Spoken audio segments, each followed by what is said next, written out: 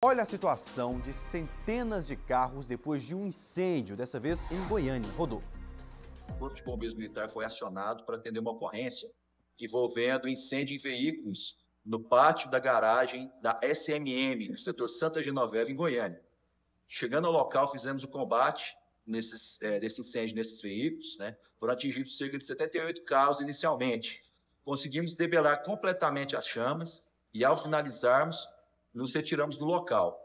Mas, infelizmente, por volta das 8 horas e 50 minutos da noite, fomos novamente acionados né, pelo pessoal da SMM para retornarmos ao local, porque havia um novo foco de incêndio, desta vez no local bem afastado do, do primeiro incêndio.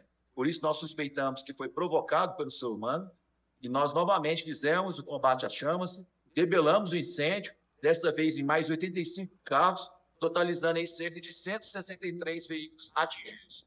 Finalizamos essa nova ocorrência por volta das 11 horas, das 23 horas de ontem.